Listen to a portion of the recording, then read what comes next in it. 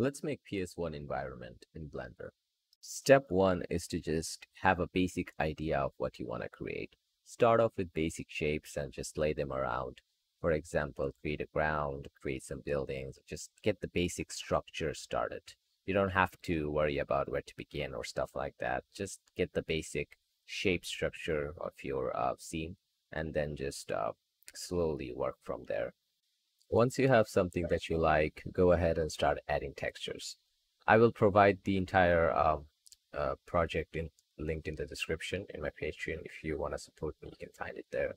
But you can just find stuff random textures from the internet, such as texture.com or other websites that I'll be leaving in the uh, description. You can find textures from there and just then you can just start projecting them onto your uh, the uh, basic structure shape that you created don't have to be uh like very precise or anything. It can be messy or um, a little bit like you know weird looking or jaggy looking because that's the main concept of having ps1 style art. You can cut through models and add extra details and uh, edges and spaces to just have that little bit of depth and also you can use uh, project from view to easily uh, texture your models if you're having problem with uh, you know uv and other stuff like that. It's pretty easy models from the PlayStation 1 had very, very low poly count. So try your best to use very low poly models and then like texture them with uh, very low quality textures so that you can, you know, sort of make them look like uh, they're from PS1 model games or something like that. Another one of the modeling tricks is that to add images as planes or backgrounds and then slowly model your 3D model on top of that image. It actually allows you to like, you know, sort of create the shape that you need for your textures to fit in. And I personally do this a lot. I actually do this for the most of the models that I create. And it's been pretty helpful over these years of creating 3D models.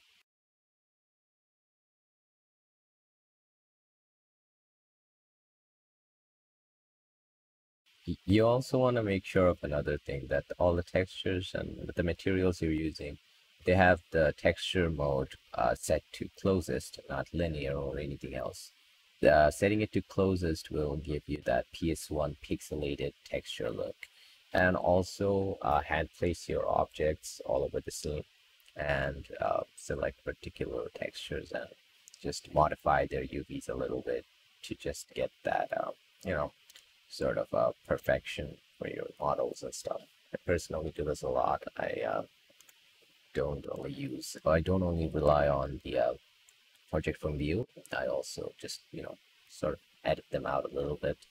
And then you might also want to add those extra small details that make, uh, you know, that might not seem that important, but it is a bit important. You don't want to add too much of it. Don't use anything such as normal maps or anything fancy like that because PS1 obviously those things.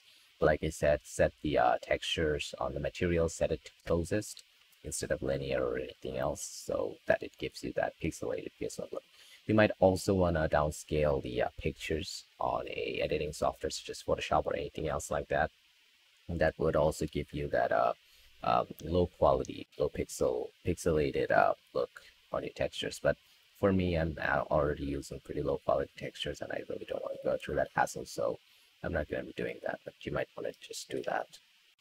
I also wanted to add a fake light to it. So I actually modeled out the light and added the texture to the uh, light thing. And I also need a fake light light thingy with a shader, which is relatively easy to set up and I'm gonna just real quick show you how it works. It's not that difficult. It uses layer weights and gradient textures and you know texture mapping to get it done. I extruded the outer parts of it. This is gonna be the fake light and okay, after a bit of tweaking and adjusting, I ended up with a fake looking light thingy. Actually, it's kind of like a light.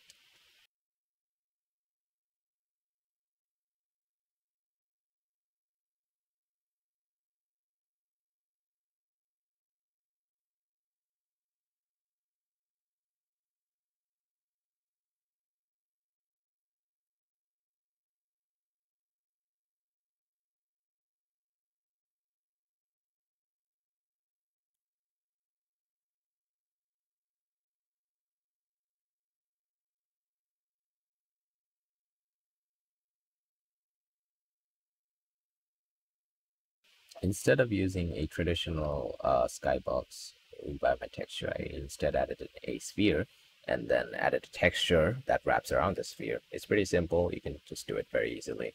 And then you can just, you know, make the sphere, you know, big and it'll be around, all around your uh, all around your scene, acting as a skybox. And actually doing this allows you to add in some effects and stuff and it also allows you to like you know manually control the textures uh, filtering and it just overall kind of looks more faithful to the ps1 style graphics i think.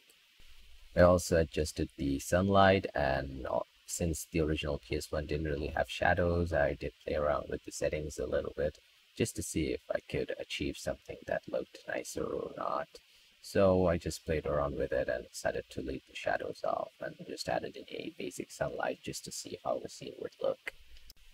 I also went into the color management and changed the uh, gamma and exposure and also set the uh, you know rendering mode, mode from filmic to raw just to get that uh, you know like the extra colors and stuff like that. Just play around with it, do whatever you want.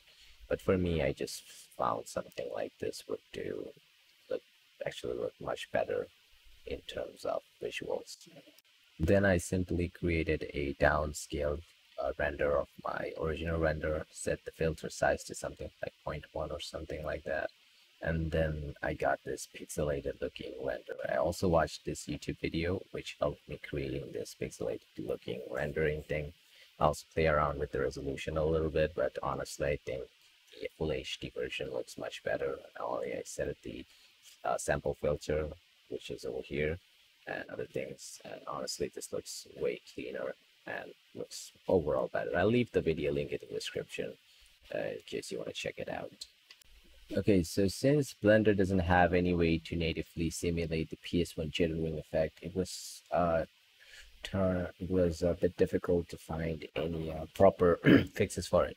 But I did find a video on YouTube that explained it pretty simply by using a modifier and the global coordinates and some noise texture and stuff like that to uh, move the uh, to create the uh, wobbling effect by taking the uh, scenes uh, you know global coordinates and applying them to the object. So if the object moves it will create that wobbling effect. So for this to work in a, a like every separated object you have to do something like a copy attribute node like a uh, add-on and stuff like that, which was explained in the original video much easily. But since I'm lazy, I just combined all the objects together and then just added the entire process, entire uh, modifier onto the entire object itself. So that, you know, it just, it's much easier. Then I animated it like, you know, sort of moving around. I played around with it a bit. And I also, in the end, changed the, uh, you know, the rendering FPS to 24 because that felt much more natural with this kind of scene and in the end i ended up with a very good result and i think it's nice. So i'll i'll be giving that video's link in the description as well which helped me creating this you know ps1 jittering thing. And well that's pretty much it. I ended up creating a pretty decent result. I exported it as a like a video so that it looks you know so that like i don't have to manually go through creating a video with pictures that i got so this is basically the end of it and I got something like this in the end, which looks pretty convincing in my opinion. Now this is this definitely wasn't a tutorial, so there wasn't anything to follow along, but I'll be leaving the resources and linked in the description. And if this video was helpful, you can just leave a like and the project file will be available in the description in my Patreon page. And all the project and the props are separated and all the textures are also included. So yeah, thanks for watching. See you in the next video.